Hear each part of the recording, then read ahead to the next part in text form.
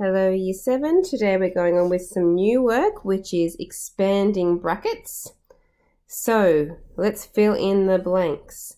Expanding, or in other words eliminating brackets, involves writing an algebraic expression.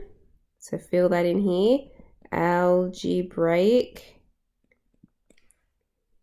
expression without brackets.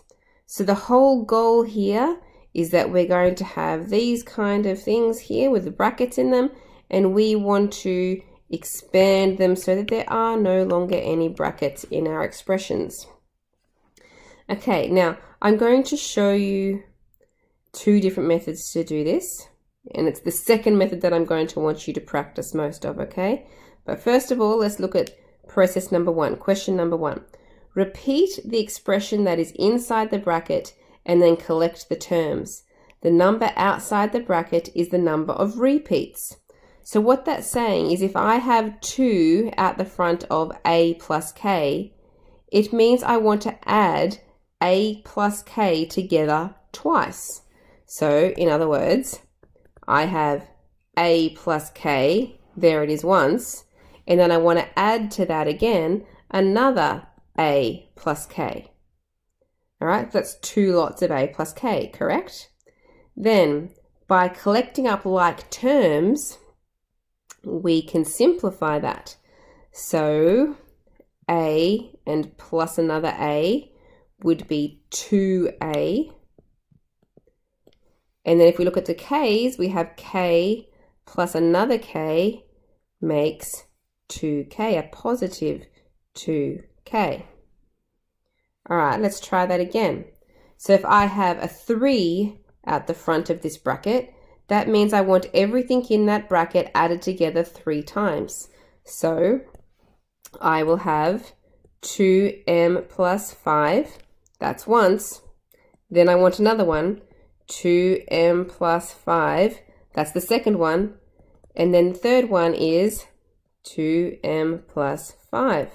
And you could imagine that this would get quite long if I wanted a 7 at the front of a bracket or an 8. You can see some big numbers down in question 2 here. This could become quite a tedious process. We want a shorter way, but let's finish this question first. So first of all, let's add together the m's. 2m plus another 2m plus another 2m. 2 plus 2 plus 2 makes 6m. Now all of the constants, all these fives here. We have 5 plus another 5 plus another 5 makes a positive 15. Okay, so while this process works, as I said before, it actually can become quite a long process if the number at the front is a big number. So we want a bit of a shortcut to do this. And what actually happens or how it works is that whatever number is at the front, if you multiply it by each thing inside the bracket, you will get your answer. So for example, if I multiply 2 times A, I get 2A. Then I have a plus sign and I want to go 2 times K and that gives me 2K. And I get straight to the answer without having to do that extra working out step. Okay, and that will always work. So let's have a look at these next few questions in question two and use our shorter method to help us expand these brackets. Okay, and this method that we're learning is called the distributive law. And as it says there in the brackets, our preferred method. This is the way we want you to do it, please. All right, so we're going to multiply whatever is at the front by the first thing in the brackets. Multiply. So 5 times x makes 5x. They just sit next to each other. Multiply, multiplying things, they sit next to each other. Remember that? Then in our bracket, we have a plus sign. So we're going to have a plus sign here.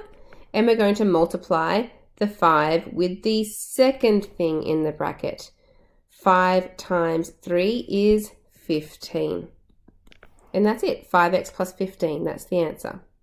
Let's do it again. Practice makes perfect.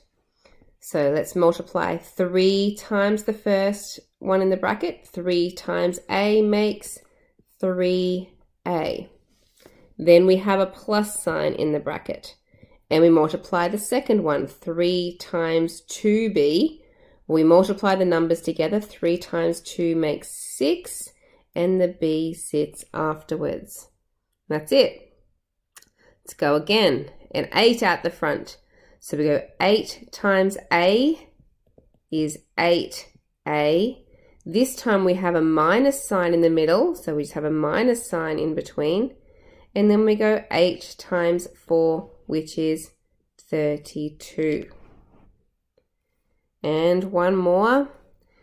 We have 5a out the front. So we go 5a times 3p. When multiplying, multiply the numbers first. 5 times 3 is 15. And the letters collect up afterwards. So I, I have an a and a p multiplied together. So 15ap. Then I have a minus sign from my bracket here. Then I multiply 5a times minus 7q. So 5 times 7 is 35 and the letters build up at the end. So I will have an A and a Q from that multiplication. All right, so practice that over and over. Remember to check your answers. So you are doing exercise 9. You can see lots and lots of these to practice. Exercise 9 on page 39. And then there is some more on page 40, some more on page 41. And this section here on page 42 is for the advanced people only because these involve a little bit of collecting like terms after you have expanded